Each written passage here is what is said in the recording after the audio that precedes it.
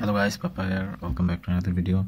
Well today we'll know all things about sifu and how the game is. Well before we go deep into it if you're new to this channel don't forget to subscribe and hit the bell notification button for more.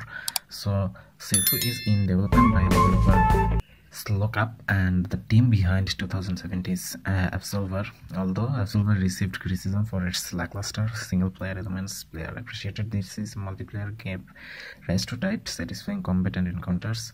Sifu is the story of a young confused student on a path of revenge, hunting for the murderers of his family, one against all, and he has no allies and countless enemies actually you have to face. So this is a pretty pretty much jump packed with actions and yeah this is a very action packed game and I actually like this type of game. And Sifu is an entirely single player game and as there will be no multiplayer or co-op so the players have to take on the role of a martial arts seeking revenge for the death of their families due to its story and gameplay mechanics. And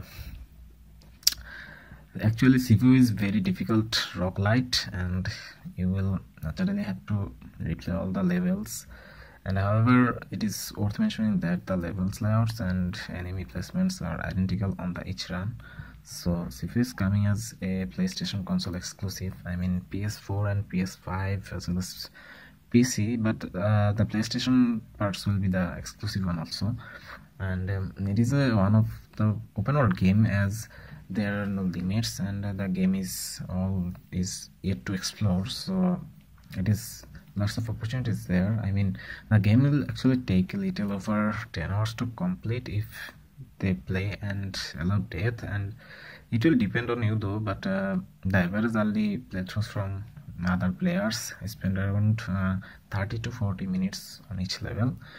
But beating sifu can take around 25 hours. Mm, but uh, getting the games and true ending and picking up all of the its collectibles uh, can be easily extended display time to up to uh, 40 or more hours? So this is a very thumbs up i mean big thumbs up for Sloclap and yeah that's all from today guys. And uh, hope you all enjoyed the video. And if new to this channel don't forget to subscribe and hit the bell notification button. Hope see you all soon. Till then have fun good luck and peace